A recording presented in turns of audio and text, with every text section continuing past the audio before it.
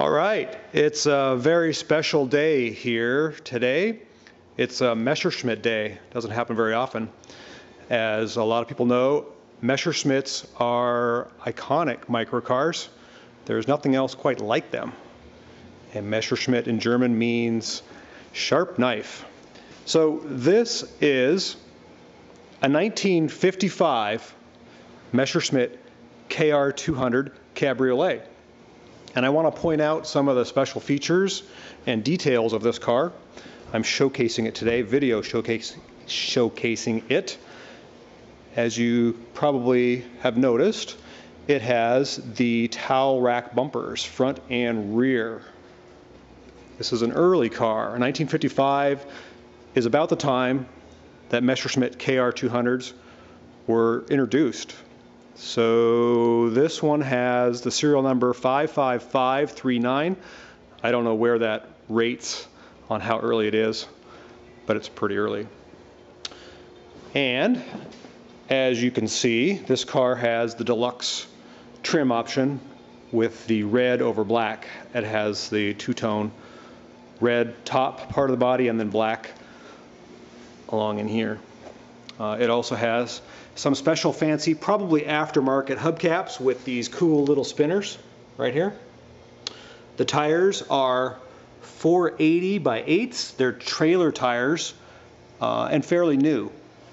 I'm going to move up the car here. If you look at the turn signals right here, I believe these were probably installed at the time to replace these lights, which are the true European lights uh, that have been blacked out. I have a feeling that the Department of Transportation required these lights they were put on. I don't know. Every Messerschmitt's different. This car originally was imported into New Jersey, or that's where it was originally sold, and uh, who knows what the rules were back then. I'm going to get a close-up of the mirrors here. I believe these are the factory original mirrors. I've not seen some like this. I've started to polish the outside to show you that it can be polished up. It's got quite a bit of just corrosion and crud. This car has been sitting since 1984 or thereabouts. I just did a quick polish job on it today to show you that the paint does shine. Whoever owned it, or whoever the prior owners were, waxed the wax the bejeebas out of it. If you look at all the little cracks around the piping, you can see the white residue, which is uh, probably turtle wax, which was very popular in the 70s and probably 80s. The waxes we have today don't leave such residue which is kind of good. It really protected the car. So I'm going to go about the car here a little more and point out some details. If you look close at the paint right here, you can see the reflection. A little bit of bubbling. This is the original paint. It's original patina. As well as all the trim on the car, all this aluminum trim that divides the colors and down here for the bumper guards, all is a little pitted. It needs to be polished. That goes for the trim along the whole body line of the car and the three piece here. And in the back has a little a special section as well. Now these towel rack bumpers, I'm no expert, but they're not chromed. They're just painted silver and kind of crudely fashioned onto the car. I'm assuming that's original. Uh, this is the first set that I've seen. They attach securely underneath the car, there and there. And some people really love them, some people hate them. I think they're pretty cool. They uh, really add a lot of character to the car. One thing I've noticed about this car that I've never seen on another Messerschmitt is you have kind of the, uh, I don't know what you call it, it's the beak nose or the smiley face. Some people call it, you know, the character of the car. This one has these little aluminum strips that run upwards on both sides. That's new to me. On other cars I've seen, this is pretty common, as well as the the Messerschmitt uh, emblem or the FMR emblem. So I'm going to move about the car a little more. You see here in the corner, there's an old Messerschmitt Owners Club sticker. It's kind of interesting. I'm going to move up here to the windshield seal. You can see it's shrunken over the years, and there's a little bit of uh, delamination of the windshield itself. I mentioned earlier this is a cabriolet. Originally, this car had a bubble top, and as they broke and were scarce, people fitted uh, vinyl snap tops like this one. This one's actually in pretty good shape. The rear window is still uh, opaque. You can see through it. It's starting to kind of get a little yellow. And it has a zipper on the inside, which I'm not sure what it does because it doesn't look like this. Oh yeah, it does. It actually, you can unzip the rear window if you'd like. The gas cap here, if you look, it's got the old Mobil Mix insignia on that. That'll totally polish up. There are little hooks here for tying your suitcase on to the luggage rack. And if you look right here, the fuel valve has been changed on this car. If you turn this, that is the fuel valve.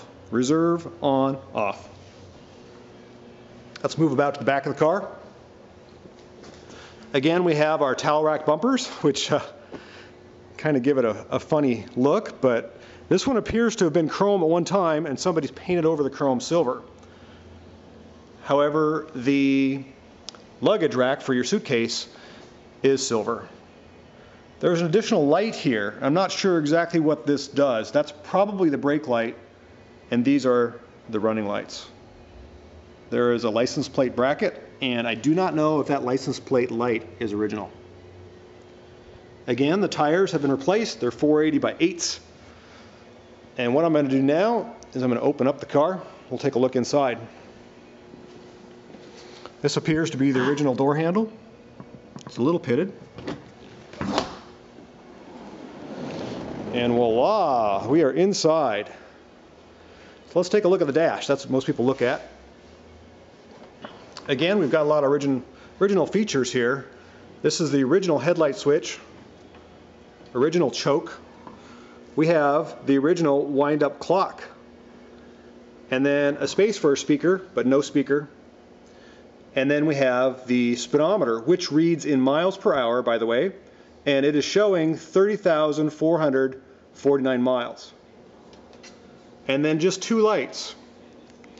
Probably one for the generator and one for reverse. I'm assuming the red is for the generator and the green is for reverse. The key does have the two position plane.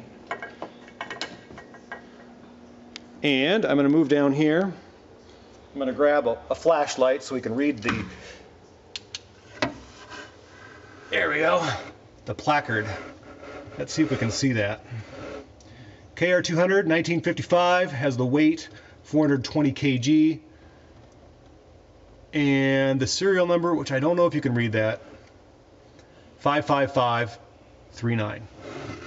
Looking about the under compartment here where the pedal box is, I don't see any rust. At some point in time, this underside here, somebody brush painted the same color as the car. It does have an ashtray if you happen to smoke. It's in really good shape. The uh, driver's seat here has a spring on it. And the vinyl is in pretty good shape. It appears to be original. I don't know that though. On the map pocket here, there's a little hole.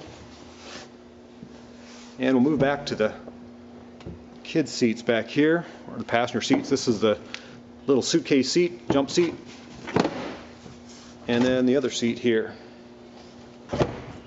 There is a floor mat, and I've cleaned it up a little bit, but it's still a little dirty. And the valve for the fuel is not present. It was out the side as I showed before. The tube for the heater is here. Normally the tube would run underneath there and heat the passengers. The back here has just a simple bungee cord. This is the luggage compartment. And the luggage compartment is closed off when the, the top is shut. You can see the fabric of the top is in pretty good shape. I'm betting that this piece right here, this red piece, is probably remnants of the original dome. See we have a wiper motor and if you look up here, we have the handle and upholstery for exiting the cabin. Now let's move to the engine compartment. I'm going to grab a flashlight again.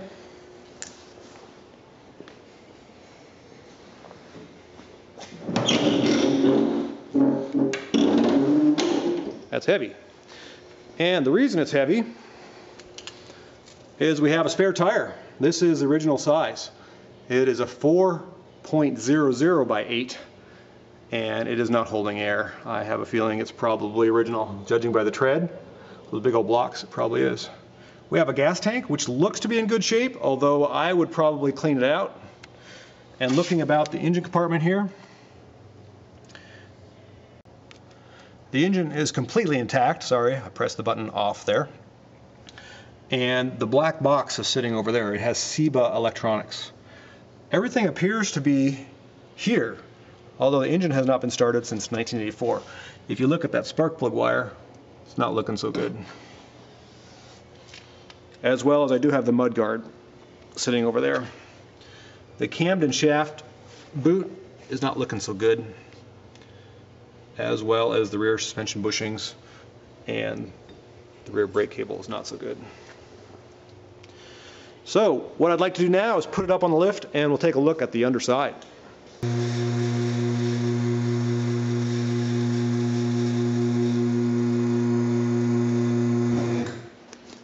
Okay, we are now standing underneath the Messerschmitt. You can see the original horn, and you can see how the towel rack bumper is attached with this wedge, which appears to be wooden. We're going to look at the inside of the wheels here. The brake cables for the front appear to be intact. The boots for the steering appear to be intact. The front suspension bushings, ah, uh, they look a little soft. Look over here. Same. Now, there's a little bit of rot on the car right there. That is the only spot, well, right along this seam is a little soft. And I'm going to pan the pan, the belly pan, and there's a little spot back here. A little rusty. But overall, looking at the whole thing, those two spots are the only rough spots. Shine the light up in here. The heater is tubing and the exchanger looks like it's missing. It's pretty common. And again, the boot for the Cardan shaft has got a tear in it. And the suspension bushings don't look so good. Overall, this car is pretty cool. Has its original patina. And I love looking at it. Messerschmitts are just so cool. So all right, now we're going to bring her down. Let's see if I can do this and walk around.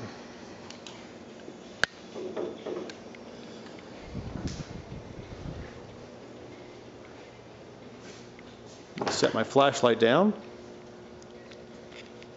While the car is coming down, I will uh, show you some of the parts that come with it.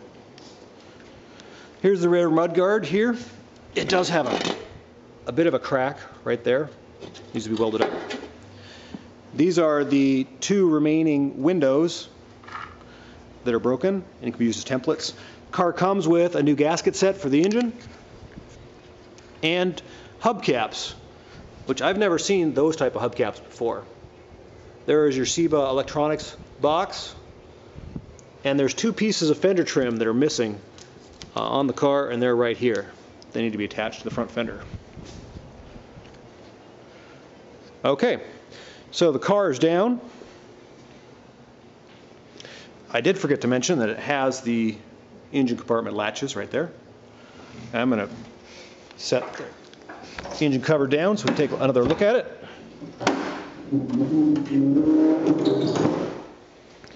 And I will also shut the lifting section so we can take a look at it. The little spring for the latch has got an issue right there. Overall, this is a great example of a 1955 Messerschmitt KR200. Thanks for taking a look. I hope I showed everything in as much detail as everyone wants.